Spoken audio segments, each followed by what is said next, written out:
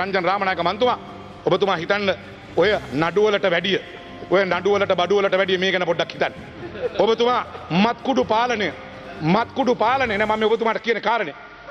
පාතාලේ මර්ධනය කිරීමට මේ ආණ්ඩුව ගන්න වැඩපිළිවෙල ගැන ඔබතුමා බලන්න ඔබතුමා බලන්න රංජන් රාමණයක මන්ත්‍රතුමා මත්කුඩු මේ දේවල්වලට කරන දේවල් පිළිබඳ.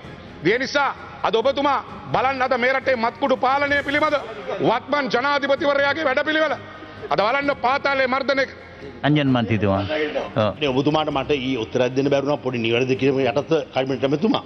ඔබතුමා ඊයේ කිව්වා මේ මේ අපේ හිටපු ජනාධිපතිතුමා ඉද්දිත් මත්කුඩු ගෝඨාභය රාජපක්ෂ මහත්මයා කාලේ අ, මෛත්‍රීපාල ලොක්කට වඩා කාලයක් වැඩි ප්‍රමාණයක් ඇල්ලුවා කියලා. නමුත් ඇල්ලුව අපි ඒ කාලේ අල්ලපු කුඩු විනාශ කළා. නමුත් මේ කාලේ අල්ලන කුඩු විනාශ කරන්නේ නැහැ කියලා චෝදනාවක් තියෙනවා ජනතාවගෙන්. ඒ වගේම නාකෝටික්ස් එකේ කට්ටියට ගිහිල්ලා අද නාකෝටික්ස් එකේ කට්ටිය 16 දෙනෙක් හිර කරලා තියෙනවා. ඒ අල්ලන කුඩු ටික අල්ලන කුඩු. ටික විනාශ හරි බොහොම ස්තුතියි. ඔබතුමායි අදහස කිව්වා. දැන්.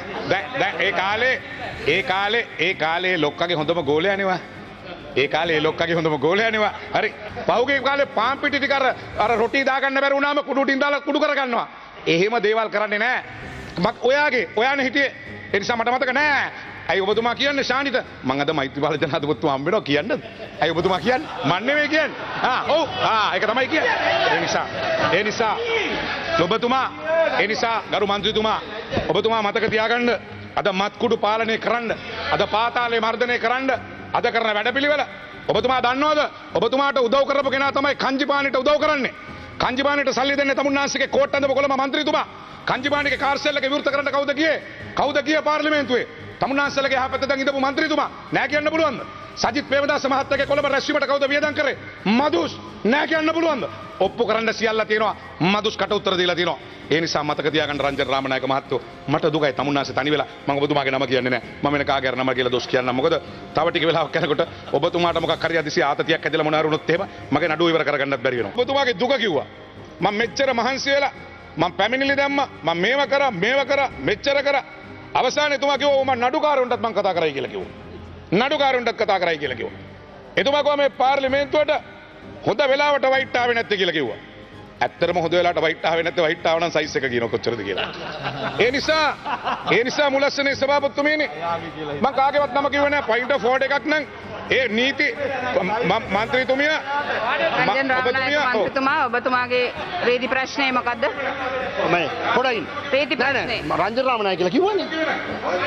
දරුවා දරු ඇමතුමා මගේ ඒ ඒකේ ඒකේ පොඩක් ඉන්නලකා ඒක අහන්න පුළුවන් ඒක අහන්න ඒ ඒක අහන්න පුළුවන් ආශා අලුත්ගමගේ මහත්මියෙන් ඇහුවොත් ඒක කියයි ආශා අලුත්ගමගේ මහින්දානන්ද ගරු ඇමැතුමා ඔබතුමා. හායි මම ඒක දැනන් හිටියේ නෑ. හරි බොහොම ස්තුතියි. හොඳයි හොඳයි. තමුනාස්සෙට මතක ඇති මාදි බෙල්ල ගෙදර මාධ්‍ය හමුවක් තිබ්බා මගේ ජිප් එකක් පෙන්නලා.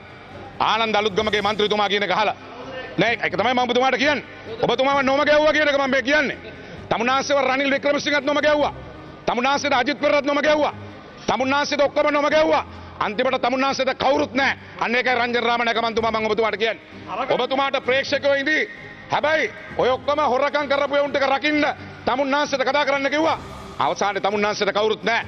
තමුන්නාන්සේ මට විරුද්ධව කිව්වා මම මිනි බරපු ජිප් එකක් ගෙනල්ලා ඉවරලා මම මාදි වෙලා තියලා හැංගුවයි කියලා. හරි ඔබ කවුරු හරි කියන එක ඔබතුමා කිව්වා. හැබැයි මොඩයින මම ඔබතුමාට දොසක් කියන්නේ මේක අහන්න.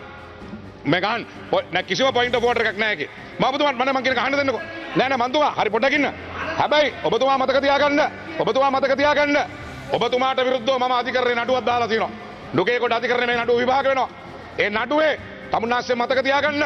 තමුන්නාස්සේ වැරදිකාරය වෙයි කියලා මම විශ්වාස කරනවා. අධිකරණයේ ස්වාධීනත්වයේ. හැබැයි ඒ අධිකරණයේ අන්තිම දවසේ මම නඩුව අයින් කරගන්නවා. මම තමුන්නාස්සෙට එහෙම කරන්න දෙන්නේ නෑ. ඔබතුමා අද කිව්වා කියලා මතක තියාගන්න. අපි එහෙමයි. තමුන්නාසේ වැරදිකාරයෙක් වෙන දවසේ මගේ නඩුව අයින් කරගන්නවා. මොකද අපිට අපේ දරුවන්ට ඒ වේදනාව තිබුණා. තමුන්නාසේලා මාධ්‍යයට ගිහිල්ලා ගහලා අපේ දරුවා මගේ පුතා එංගලන්තේ ඉඳලා ගෙනාවා. තමුන්නාසේලා CID එකට ගෙනාවා අපේ දරුවෝ. ගෙනාවා. තමුන්නාසේ මගේ දරුවා පස්සේ වාහනයක ගියයි කියලා සාගල රත්නායක ගෙනෙල්ලා කිව්වා එලෙව්වයි කියලා දාන්න කිව්වා. දාලා රිමාන්ඩ් කරන්න කිව්වා. එහෙම තමුන්නාසේලා අපේ දරුවන්ගෙන් පලිගත්තා. තමුන්නාසේලාට යන්න අපායක්. තමුන්නාසේලාට යන්න අපායක කොහෙද කියන එකයි ප්‍රශ්නේ තියෙන්නේ. හොයාගන්න වෙනවා වෙනම අපායක් මේ කරපු අපරාධවලට. ඔබතුමා ඒ සියල්ල පාවිච්චි කරා. breaking.lk